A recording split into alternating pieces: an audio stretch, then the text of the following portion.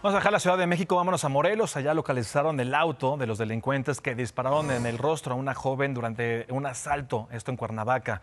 Pedro Tonantzin, tú tienes los detalles de esto. ¿Qué tal, Irán? Muy buenas tardes. Una joven menor de edad, estudiante de preparatoria, fue asaltada, sigue en terapia intensiva, pero eh, su estado de salud se reporta estable por el momento. Déjame decirte que a las 6 de la tarde los vecinos de la colonia Jardines de Cuernavaca realizarán una manifestación con el propósito de exigir mayor seguridad en esta zona. Hasta aquí mi reporte, Irán.